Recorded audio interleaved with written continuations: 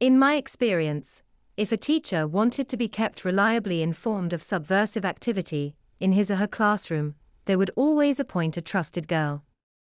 These angelic little little so and so's, who usually had a schoolgirl crush on Mr. Teacher, would happily put you in for breathing out of turn. I mentioned elsewhere that in primary school a girl was appointed by the deputy to inform on talkers while he was absent from the classroom. She would stand at the front of the room, surveying the assembled students, chalk at the ready to write down the name of anyone who so much as moved their lips.